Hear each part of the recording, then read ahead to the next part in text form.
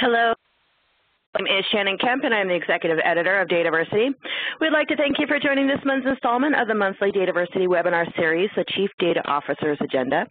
This month, leading industry experts from Silicon Valley Data Science will join Tony Shaw to discuss the Executive Guide to Data Strategy, sponsored today by CA Technologies, the makers of ERwin. Just a couple of points to get us started. Due to the large number of people that attend these sessions, you will be muted during the webinar. For questions, we will be collecting them via the Q&A in the bottom right-hand corner of your screen, or if you'd like to tweet, we encourage you to share highlights or questions via Twitter using hashtag CDO Data Strategy. And if you want to chat with each other and make comments throughout the presentation, feel free to click on the chat icon in the top right corner of your screen uh, to engage that panel for you. And again, we'll collect questions in the Q&A section in the bottom right-hand corner. And as always, we will send a follow-up email within two business days containing links to the slides, the recording of the session, and additional information requested throughout the webinar. Now let me introduce our moderator for today, Dataversity CEO Tony Shaw.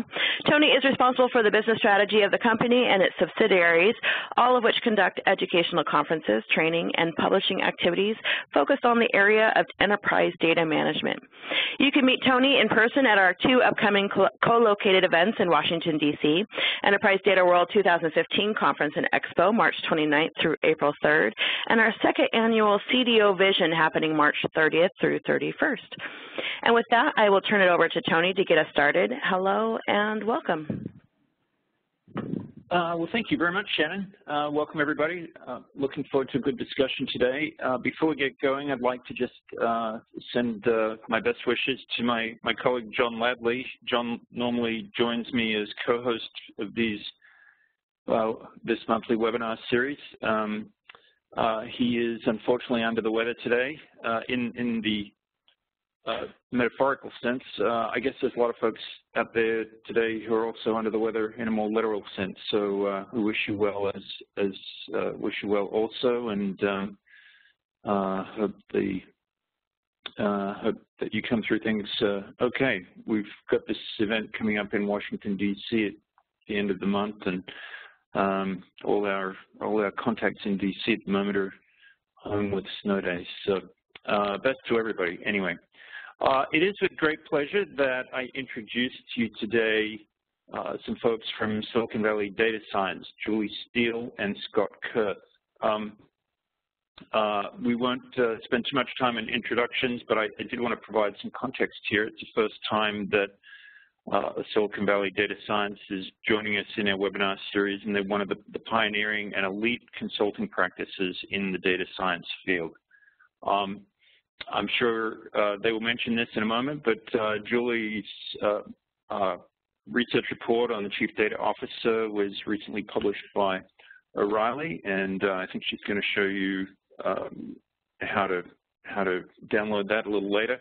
Um, there's also a, a, nice brief data strategy position paper on the Silicon Valley Data Science website, which I enjoyed myself. and I certainly recommend it to anybody else uh, to go to after the webinar.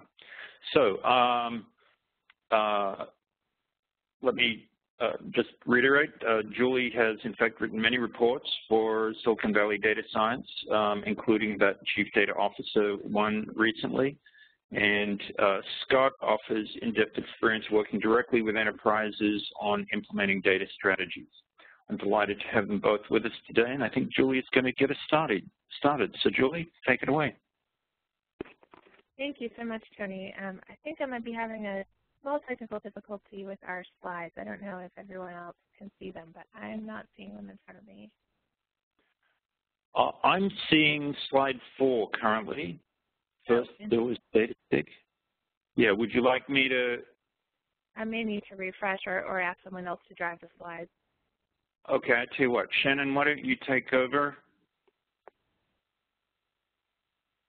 Julie, you may need to hand the. My apologies, Julie. Here, let me take controls again. Yeah, okay. Um, and let me, do you see the slides now, Julie? Do you see? No, I'm not seeing them yet. Okay. I will drive. Okay. I don't see them either, uh, Shannon. It's completely blank for me. Can we uh, get a shout out from attendees as to whether they're able to see? Sure. Folks, if you're just in the chat or the Q&A. Oh. Okay. It looks like, uh, no. Okay, we've got a lot of responses. Thank you. Uh, maybe only if you can't see them. We should have asked for that. But uh, I can see them also. So um, Julie, what I'm going to do, my apologies, everyone. Uh, so we some can see, some can't see. So Julie, what I'm going to do is I'm going to close this um, slide panel down. And then can you uh, share your, do you have the slides open on your desktop? Um, my apologies, folks. Yeah. We'd like to have this done in advance. Sorry, just one moment. Sure. Or, I'm gonna, or can you upload them again?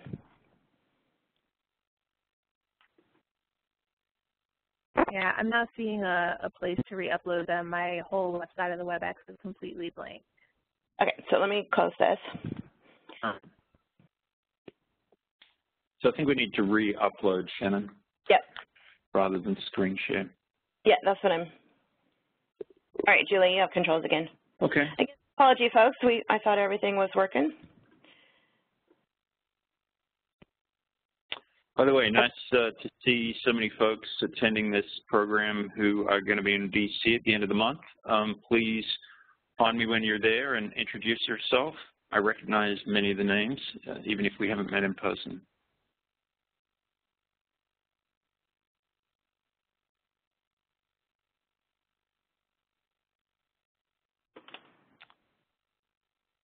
All right, so I think please in the process of re-uploading. No, sorry. I'm seeing the, the introductory slide, but I still don't have any way to upload anything or, or to move the slides back and forth. Should I you have, exit WebEx and re-log in? So can you, you don't see share? You can't share and file? Uh, no, I don't have anything like that.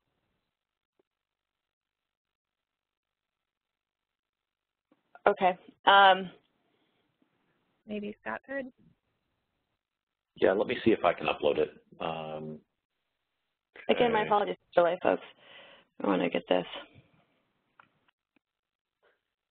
So I have the share my desktop share file. Is it share file that allows me to upload? Yep. Okay. All right, let's try that.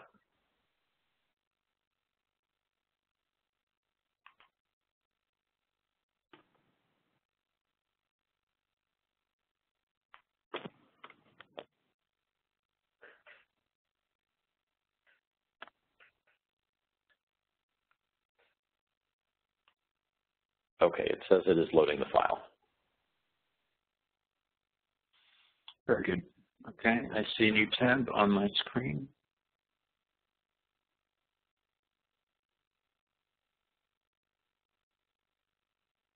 All right. Okay, so can everybody see the now Silicon Valley title slide? I think I think it's working now. Julie, Julie, can you see it? Yep, I can finally see it. Looks great. Okay, Yay! Perfect. All right. Let me close back to you, Julie, and we'll get started. Again, okay. my apologies. Sorry about the uh, confusion there. Sure that we get that sorted. Great. Thanks, everyone, for bearing with us. And I'll just make a, a brief quip that this is exactly why you need a strategy, because technology doesn't always cooperate. But um, thank you, Tony, again, for those introductions. And um, as, as Tony mentioned, I recently authored a report for O'Reilly Media called Understanding the Chief Data Officer. Um, I interviewed over a dozen CDOs in organizations representing a broad range of industries, including Wells Fargo, the RNC, the Federal Reserve Board, Seattle Children's Hospital, Samsung, and, and, a whole lot more. So some of you joining us today may also be CDOs um, or maybe contemplating hiring a CDO for your organization.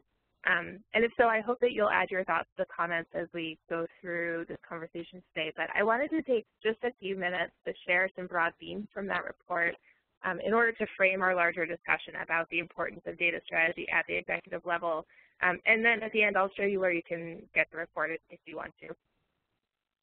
So without going into too much of a history lesson, I think it's fair to argue that the so-called big data um, began to enter the executive consciousness with the various regulations about how personally identifiable information should be handled. Um, a number of companies in government in finance in healthcare and other sort of heavily regulated industries were the first in many ways to become acutely aware of the value of data, largely because of these pieces of legislation um, or these industry standards and the need to address compliance efforts around them. More recently, advances in tools, platforms, and the web have made data so plentiful and so accessible that companies in industries like retail, telecom, politics, insurance, et cetera, have found that it is a ready resource for the creation of new revenue streams and uh, for better optimization, better workflow. So we've seen here as well uh, a shift from a product-centric view to more of a customer-centric view. Anyone who's ever walked into a Starbucks and handed them your card and gotten a coffee back just the way you like it without having to order it, or gone to your grocery store and gotten coupons for exactly the brand of cat food that you buy, is familiar with the shift to the more customer-centric view, where the data you generate um, goes not just to uh, inform about products and product markets, but about individual customers as whole people. So there's this kind of shift happening um, that's making it more enticing for companies to use data in a different way as well. So it's not a perfect mapping, but you can think of this carrot and stick effect as loosely matched to data strategy and data governance. And of course, we'll get much deeper into the data strategy side of things in just a few moments. But um, because of these two things, the, the promise of new services and efficiencies and the danger of security breaches and the obligation to, to follow these regulations many companies have begun to appoint chief data officers to oversee these aspects of the business, which are more and more crucial not just to the IT department and the technological side of things, but also to the inherent objectives and the value that the business as a whole is looking to create. So uh, briefly, I want to cover what the CDO actually does in many cases. It definitely varies from company to company, and you pretty much find as many implementations of the role as there are companies who have one, but there are three important themes that I want to bring to your attention today. Um, the first of those is centralization. So as we said, the goal these days is often to establish what's called a 360 degree view of who each customer is or patient um, or, or voter. Um, but whether you're talking about you know voters or patients or customers or whoever, internal data is almost never enough by itself. So part of the role of the chief data officer is often to go uh, gather data internally but also externally and to always be looking for additional data sources that can help create this surround sound view of, of the customer. So integration and aggregation are much better terms than centralization when we're talking about what happens to the data. Um, and very often the pre-existing data generating systems are left intact. So it, it's not necessarily about centralizing data as much as integrating or aggregating it. But I chose this word centralization because the theme at work here in the role of the CDO is bigger than just the data. It's also about centralizing the way company priorities are determined when it comes to data-driven data projects. Um, and that that part of the role is equally important. That that process of gathering, centralizing, and determining company priorities uh, often means saying no to people. No, we can't address your project until two years from now. And that has to be done in a way that won't make enemies. So that ability to, to integrate, aggregate, centralize um, is a really critical aspect of the role. The second important theme is evangelization. So the CDO often has to work with product owners and managers from across the entire organization, um, as well as with other executives. So as we were mentioning with, with centralization of priorities, important skill sets here include sort of diplomacy, political skills, and even what some would call sales abilities, uh, because the CDO has to set those central priorities and then sell that vision across the whole enterprise. Um, and it's something that reaches down into every corner. You can in some ways, think of the CDO's team as the central nervous system here. They're not the muscle. They can't actually move the body, but they connect and communicate everything back to the brain of the operation. And So finally, the third theme I want to cover here is facilitation, because to continue our nervous system analogy, the CDO team's job is to lower barriers for everyone else in the organization to be able to act, to be able to collect and use data intelligently, agilely, and in keeping with that central vision that will drive business value. Um, the ideal CDO, in short, is one who makes better, more efficient actions possible for the rest of the organization. So the themes we've just described here are all fairly broad and require a diverse set of skills. Um, some of the typical challenges of the role include both the technical side and the business concerns. Um, you know, the obvious challenges of working with data from different places, from inside and outside the company that of course comes in all different formats. Um, there's a lot of a lot of bridges to be built there and, and architecture that has to be considered. Um, but there's also the business questions um, that ultimately this is about driving value. And if you don't have good business questions, it doesn't matter what kind of technology you have. Um, as Joy Bonaguro, who is the CDO for the City and County of San Francisco, said. And then, of course, there's also the challenges of working with people. As we, we saw, there's a heavily uh, political side to this, and, and sometimes we like to say people are the hardest part of technology. So just to underscore, if there's one thing that you should take away about the role of the CDO, it's this, that while technology is inevitably involved when working with data, the defining goal of the CDO is not technological, but business-oriented. Um, and the ideal CDO exists to drive business value. So with that uh, context and that framework, I'd like to turn it over to Scott to talk more about how to drive that business value with a sound data strategy. Great, thanks, Julie. okay, so uh, I'd like to take a few minutes and talk you through the Silicon Valley data science uh, approach to data strategy and the way that we think about data strategy in general. So many of you are probably familiar with uh, what I'll refer to as a, a, traditional or a conventional data strategy, the way we've thought about data strategy for the past couple of decades that's really uh, primarily about data governance. It looks at things like uh, how do you maintain control of your data, what are you doing with respect to security or retention policies uh, or data uh, cleanliness. And those are all important concepts. But as Julie mentioned earlier, those are really aspects of data governance. And when we talk about data strategy, we actually mean something profoundly different. So if you think about data governance, what you're really doing is you're looking at various things that you can do to data. When we talk about data strategy, on the other hand, we're really looking at things you can do with data. These are the things that represent the opportunity for your business, your ability to grow your business by attracting new customers or targeting VIP customers or automating the way that you do things to improve your operations. These are all the business goals that data can enable, and that's really what our focus is when we talk about data strategy. So at SVDS, we fundamentally believe that the value from data strategy comes from the opportunity to blend business and technology together. And Julie mentioned uh, the quote from Joy uh, earlier uh, about having good business questions. This is exactly the kind of thing that we're talking about the, the linkage between those business questions and then the technology that actually provides the under, underlying platforms to help you answer those questions is really the most important thing. And if you can't articulate the relationship that technology and business have in your organization, then you really need to revisit your approach to data strategy.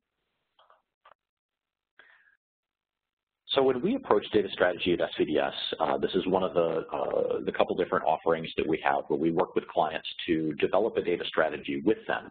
We take this very business-focused uh, starting point as, uh, as our primary way of, uh, of engaging with customers.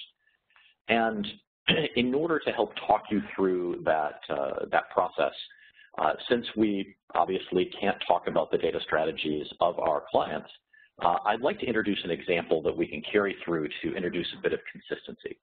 Uh, so to be very clear, PetSmart is not one of our clients. Uh, the, the article that I'm linking here, and I believe Julie is going to put the URL into the chat session so everybody else who will inevitably want to go read the article while they're listening to me can go ahead and do that.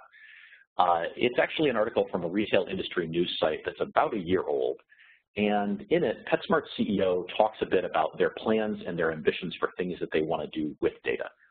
And the reason I use this article is I really like the uh, some of the points that uh, David Lenhardt makes in this article. Uh, it's the level of conversation that we often have with business leaders at the outset of a strategy project. So I think it's a, a good starting point for a uh, public example that we'll be able to talk about without compromising the uh, the secrets of, of, any of our clients or uh, or picking on one of you as an attendee to share uh, a, uh, a, business problem live that we work through together, as much fun as that would be. So as I mentioned earlier, with any data strategy, we start with the business. We start by asking the, the questions that matter. What's driving your business? Are you trying to enter a new market? Are you trying to grow your business? Are you trying to optimize operations? What are the, the, the things that are keeping your board members up at night? These are the real goals of your data strategy, and the data is ultimately just a means to that end. So if we go back to PetSmart for a moment, uh, in, in uh, combing through the, the comments from PetSmart's CEO, there's a couple different high-level goals that, that stand out right away. Uh, they want to improve their ability to connect with pet parents uh, in a personalized way. Uh, they're looking for new and interesting ways to grow their most valuable customers, and, and there are others as well, but I think these are a couple good examples of the, the starting point that might lead to a data strategy for them. From there, we have to start breaking it down. We have to make the leap from strategy to tactics. How are you going to achieve those aspirations? Maybe you need to get down into the details and understand how you can predict demand in a particular region or uh, personalize your customer experience. This is the point at which you really need to expand your imagination and think beyond how you're just using data today. Yes, you're, you're bound by the art of the possible, but it's at this stage that you can really start looking for the problems that the business needs to solve in order to move forward. So in the case of PetSmart, you know, they, they very clearly need to uh, look at ways that they can capture and use customer and pet data. Uh, they have aspirations to deliver personalized recommendations and marketing offers to their customers in various touchpoints. Uh, and they're interested in changing the way that they track and share real-time inventory to make uh, their online experience uh, as seamless as possible. So these are the kinds of imperatives and objectives that, uh, that we end up talking about with clients. And some of them will be addressable with data and others won't, and that's okay. Uh, and so as you work through the process, you start to focus on where you can actually get the, the value from data. So even though we're beginning with the business, even at this early stage, working together is absolutely a required element. Uh, if you have the technologists and the business uh, leaders together when you start working on your data strategy, you have the opportunity to get common consensus on what are the drivers, the priorities for the business, the basis for the strategy that's going to be essential later on. If you've created things together, you have a shared sense of creation, you also end up with a shared sense of ownership, and then it becomes a journey that you're on together as opposed to something that gets thrown over the wall to the technology organization to implement. And as we have these, uh, these types of workshops with our clients at the beginning of a, a data strategy, uh, we find that they often lead to some really interesting aha moments that just come from having the participants talking to each other in the same room. It oftentimes it's the first time that these two groups come together to have these types of conversations at that level of abstraction at the, uh, uh, with the, the, the end goal in mind of how can we work together to improve the business. So from there, next we have to consider what's the role of technology in making this possible? And this is where the technology leaders really need to take the reins because now we're stepping a little bit deeper into the, the technology world where it requires specific data and analytics expertise. Uh, there's uh, a required element of exposure to and understanding of a really rapidly changing landscape of technology. So what we do at this point is we work very closely with technology folks to help describe the use cases. So for each objective, what is it that you actually build? We want to help the help clients understand the journey of getting from why you're doing something to what you're doing, and now finally to how will you do it. So for instance, we might talk about uh, use cases around customer segmentation to help discover uh, VIPs, or how you can build models for predicting uh, product demand. For PetSmart, based on the, uh, the goal that we talked about a moment ago around delivering personalized recommendations, we can imagine a number of different use cases related to product recommendations, such as recommending new products based on past purchases at point of sale. Uh, or something else that uh, got mentioned in the article was the ability to uh, recommend upcoming store community events based on customer preferences to help engage and become a more active uh, part of the pet community where they, uh, where they operate their stores. Uh, so it's at this stage that you'll start to notice that you have a lot of different use cases across a number of different business objectives. And now's the opportunity to start looking for uh, opportunities to exploit patterns and uh, take advantage of opportunities for reuse. So whether it's through looking for opportunities to build a common platform to serve, uh, serve a number of different needs or producing a data service to make sure that data is accessible in a number of different places, or even condensing things down to technical workloads or uh, a specific piece of functionality that you can build once and access in many, many places or customize in different places, you have to look across all the use cases in order to find these. What are the most common workloads you can make use of? So for instance, uh, if we're talking about a business that requires social media sentiment analysis and customer product intelligence uh, and maybe uh, call center transcript analysis, all of those could share a common technical platform related to text analytics. Uh, in our PetSmart example, uh, whether you're talking about point of sale recommendations or you're talking about uh, community event recommendations, you might be able to rely on one common recommendation engine that acts on top of customer data to produce different types of recommendations for different scenarios. So that might represent one common workload that you could build once and then customize to help you solve different use cases and focus on different parts of the, the value as you're working through this.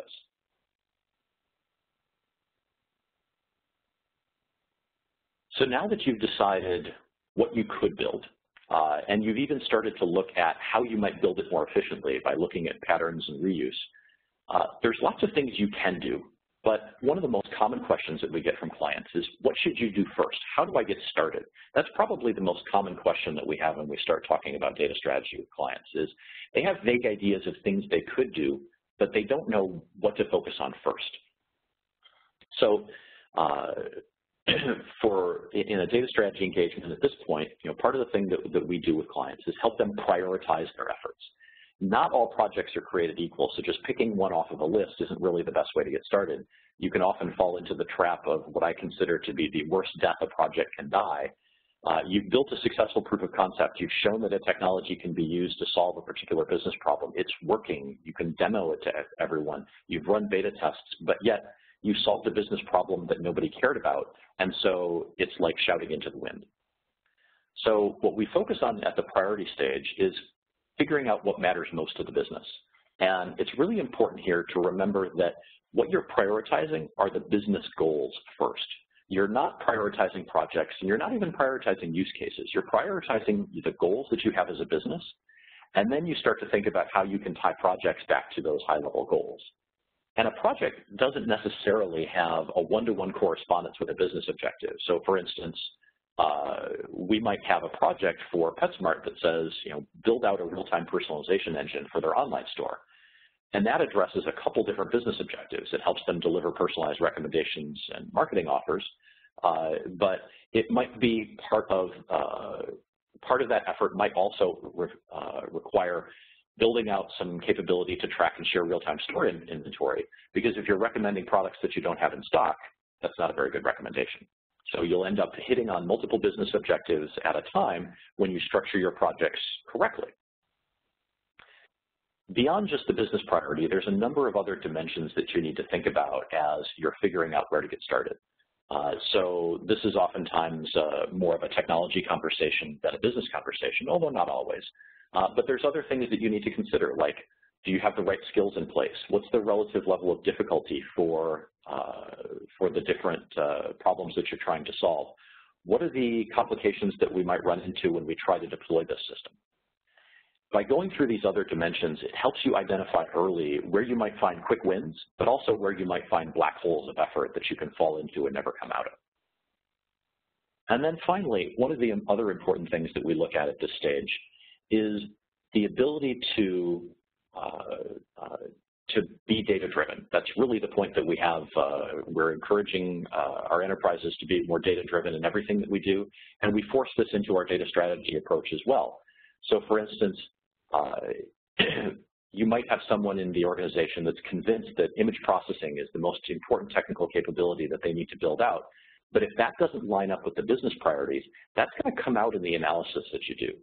So this is really about overcoming your assumptions, overcoming any preconceptions that you have, rooting out people's pet projects that they might have, and doing so with real data, helping them understand why you don't want to focus on image processing first. It might be an important capability, but there might be three other things that you need to focus on before that. And because you actually went through this whole process together, you've got a shared sense of priority. You understand the reason that you're headed down this path. And as a result, hopefully you can make those kinds of shared decisions without them turning into major political battles.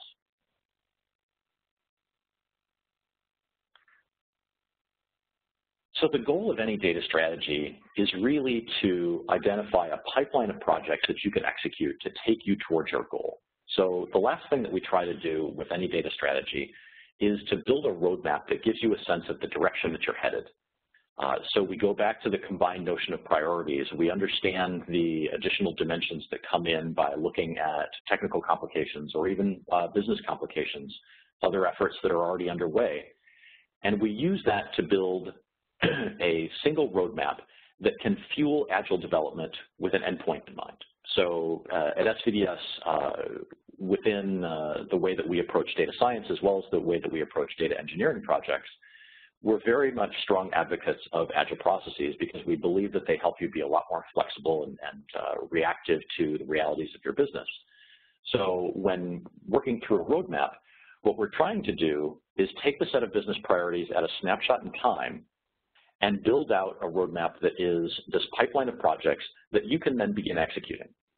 But when you have a roadmap, there's this tendency to think of it as your 24-month plan that now you're going to put your strategy away and you're just going to start charging down that road. The reality, though, is that there's a, uh, there's a lot of traps that you can fall into when doing that, and even if you're using Agile as your mechanism for building any one of those individual projects, that may not be uh, Agile in the macro sense. So the last, uh, one of the last caveats here is that when you're thinking about your strategy, you have to make sure that it's flexible.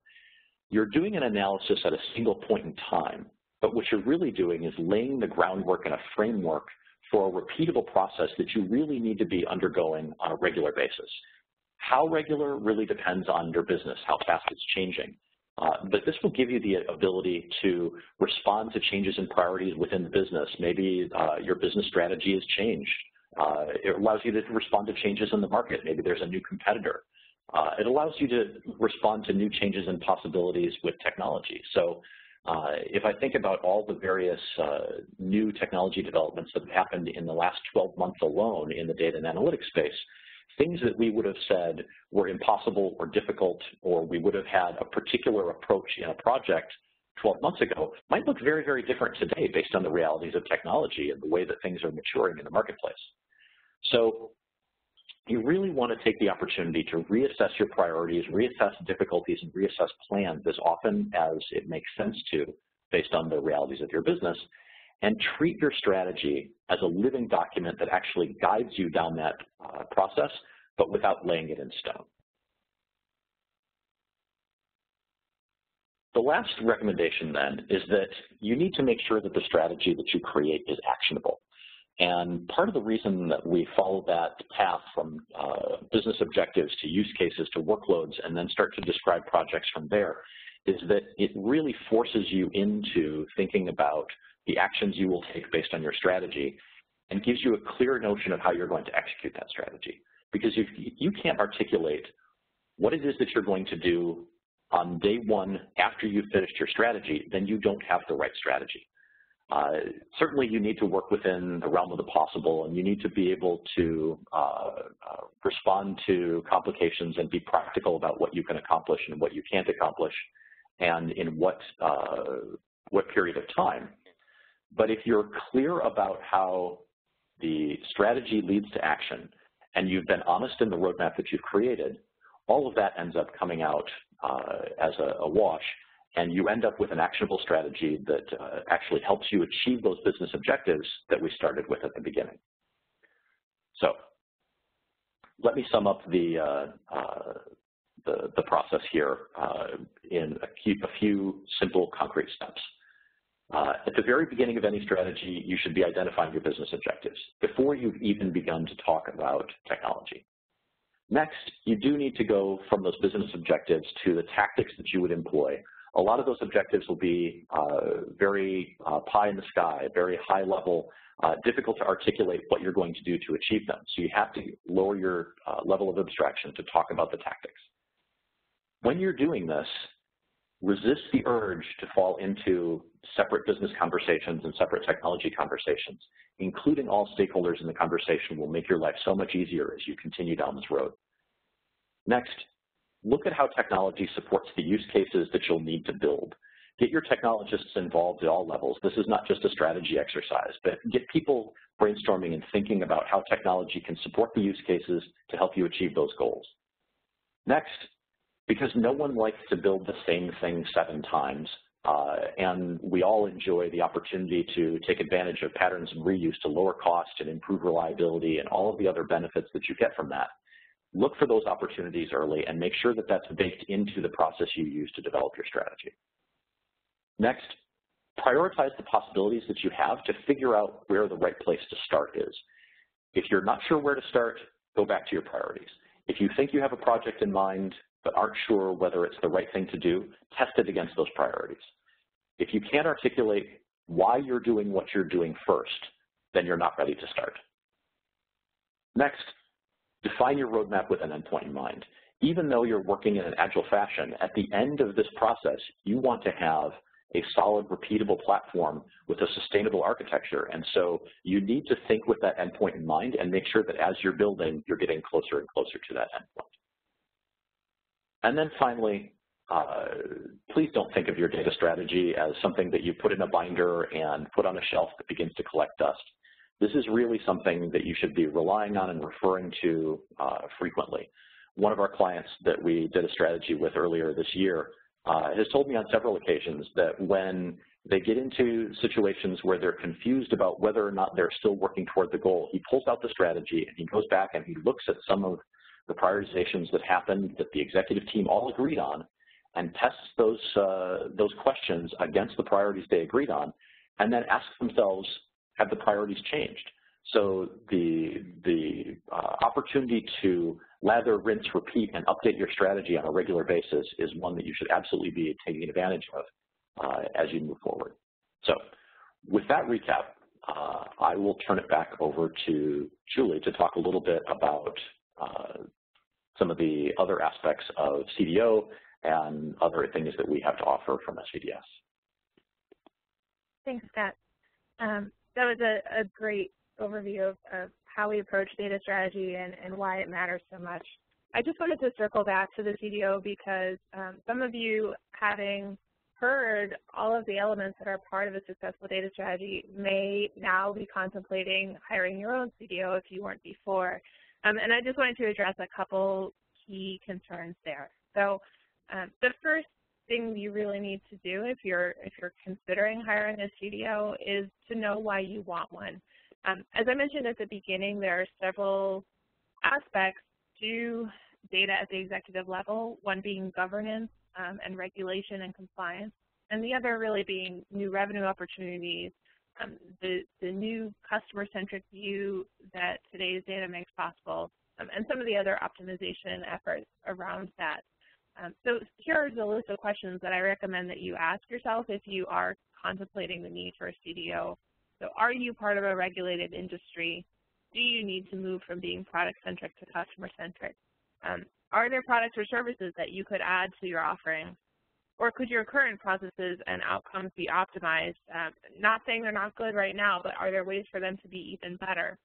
Um, and finally, are there insights in one part of your company that could benefit other parts of your company if they were shared? Um, and could a CDO help uh, break down some of those barriers for you?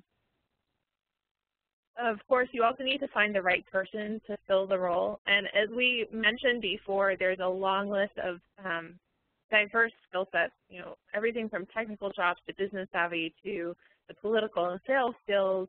Um, and of course, this is an executive level position, so we're talking someone with the requisite experience there.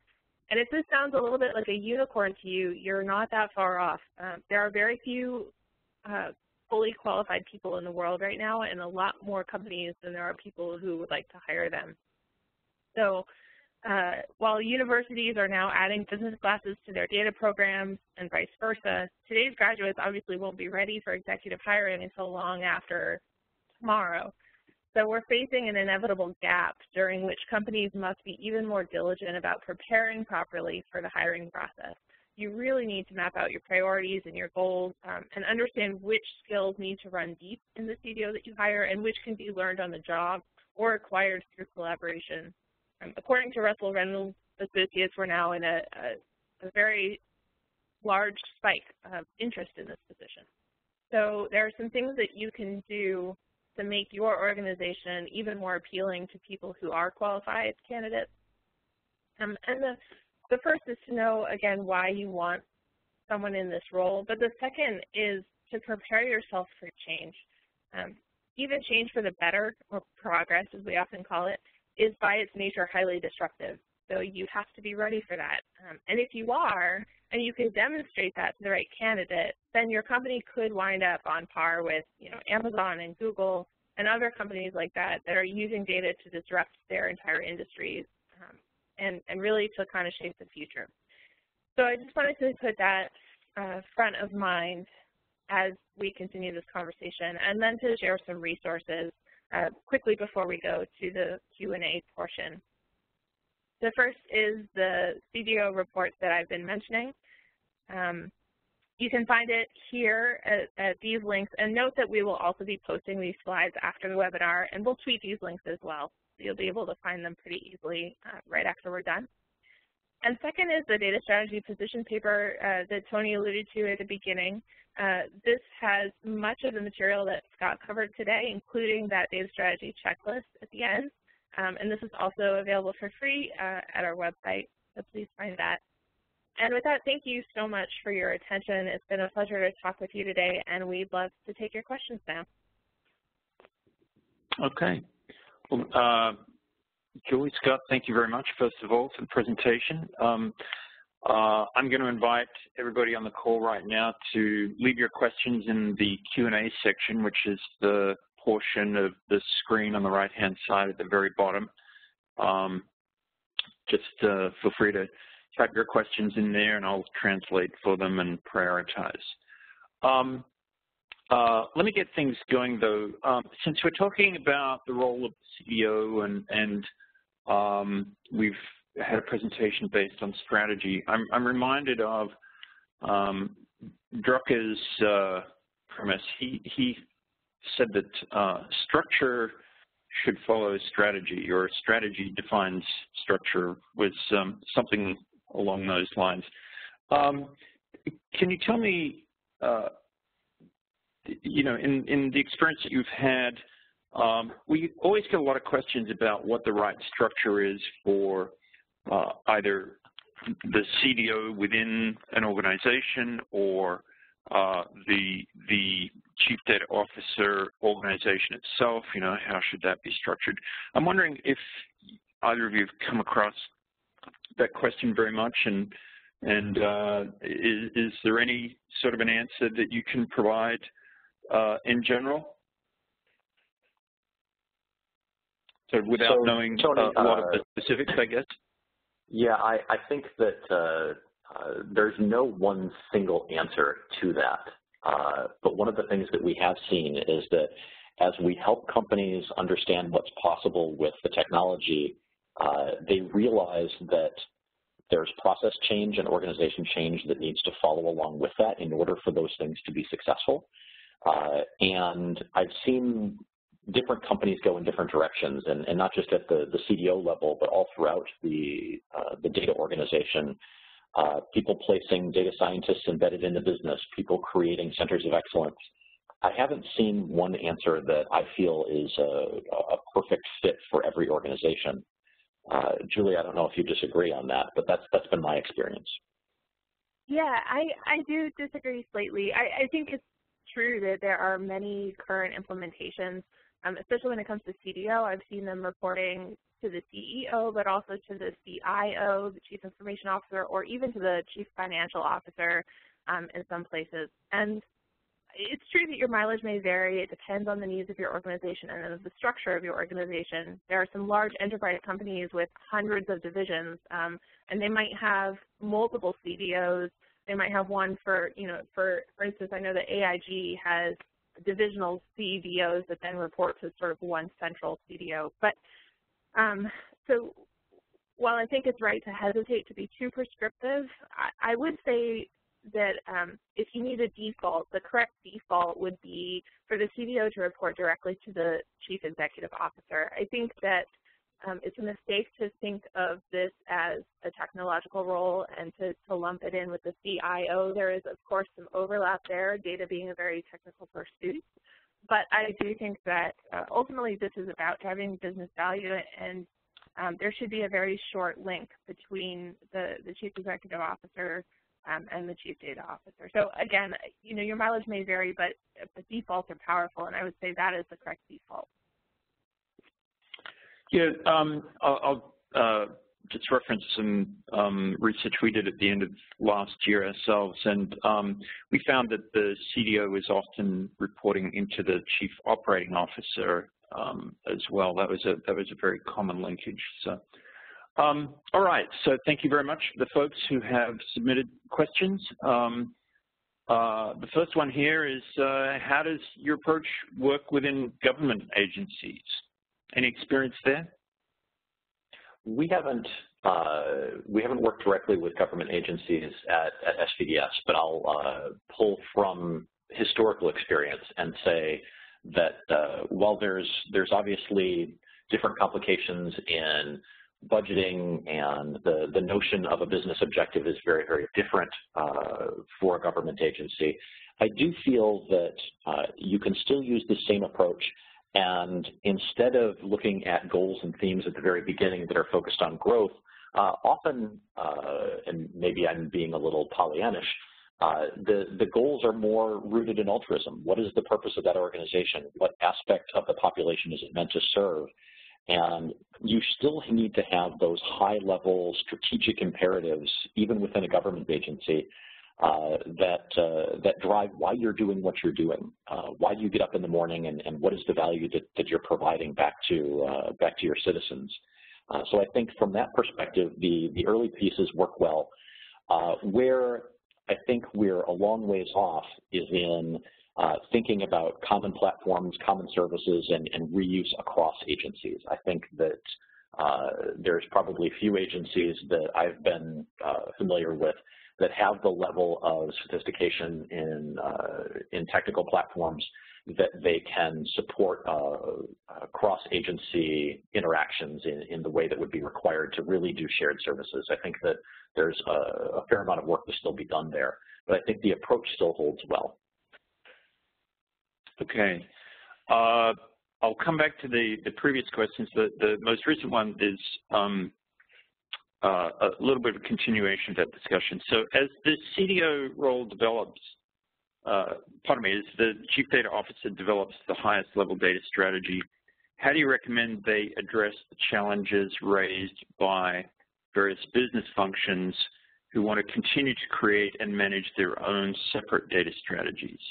So I guess how do you how do you find or see the CDO role in terms of unifying those those or standardizing those data strategies, I guess? Sure. I mean, every organization is going to have politics. Um, I think that ideally the, the CDO, after they've crafted that uh, central data strategy or that central list of priorities, again, as Scott uh, underlined, with the, the participation and the buy-in from, from many kinds of stakeholders in the organization.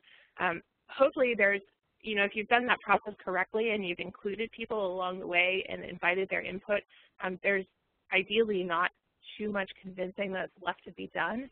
Um, to the extent that incentives are misaligned or that that process has been carried out in such a way that there is not organizational buy-in, then yes, the CDO will often spend a large part of their time um, having those conversations, sometimes repeatedly and at length, uh, to show why it's worth everyone's time to, to quote unquote play enterprise baseball. Um, I mm-hmm. think if you've created those uh, incentives and those strategies and those priorities uh, in the right way, then it's, it's, there is a compelling case to be made about how a rising tide can lift all parts of the organization. Um, and, and data is most powerful when it's used in aggregation. Uh, but again, you know, politics is definitely part of the job. Having said that, going back to the idea of hiring, one of the most important things you can do before you hire a CDO is to lay that kind of groundwork so that they don't spend the first two years of their job justifying why they're there or trying to convince people in other parts of the organization to play ball with them. So uh, a big part of what you can do to lay that groundwork is to develop the use cases and show why this is a good thing, uh, show why this role is, is necessary and desirable before you before they get there. Uh, Scott, did you want to chime in with anything there? No, I think Julie captured that one. I'm I'm I'm um, happy with uh, letting that go.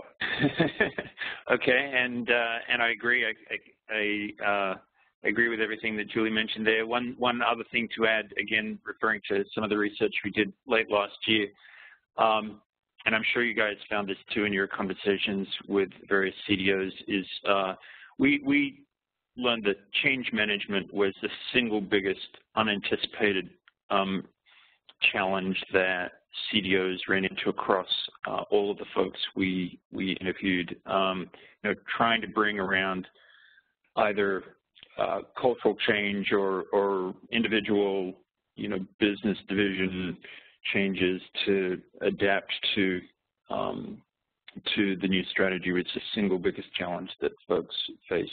So uh, I think that's all consistent with the, the question that was asked. Um, okay, a question here, um, other than uh, business strategies and business plans, what other documents uh, would you recommend be reviewed when gathering business objectives? So um, I think part of the exercise is uh, is, is, reviewing documents and, and looking at uh, the business strategies, looking at the, the business plans, uh, looking at the uh, projects that are underway right now. Where are your large investments? And going back to the business cases for all of those. Uh, a lot of this, though, uh, comes out by asking executives, how do you spend your time? You know, talk to the CEO, talk to the CIO, talk to the COO. Uh, what, what absorbs your time? What absorbs your, your attention? What keeps you up at night? Uh, and driving into those kinds of questions will often real, uh, will often surface objectives that no one's put on paper, but it's in the back of everyone's mind. Um, the the other thing that we often do is uh, we'll go through and, and, gather business objectives with executives, and then we do a lot of deep diving into what's really going on within different organizations in terms of how they use uh, and rely on data, understanding where the gaps are and things like that. And that grassroots process often helps us surface objectives that the business didn't know they had. Uh, so, for instance, uh, there are uh, there are objectives that are maybe hampering other objectives and they're not front of mind for a CEO, but they should be. Uh, or they're front of mind for the CIO, but not for the, the CEO. So there, there's a lot of uh, back and forth that goes on there, but really asking what keeps you up at night is a great place to start uh, at that strategic level, and then start breaking them down.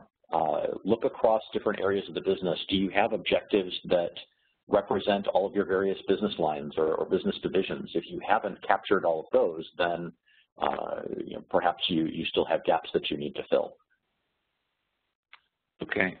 Um, we've probably got enough questions to uh, to run through the end of our call today. So um, just to caution anybody who might be thinking of chiming in at the moment, um, uh, try to get a couple of quick ones, although uh, all of them are sort of lengthy answers. Um, this is a common one, though. Uh, we see this come up a lot in terms of how do you qualify the value of strategy? I mean, I'm not sure that there's a simple answer to that question at all, but how do you quantify the value of data strategy um, when you know it's it's hard to measure return on investment from something like that?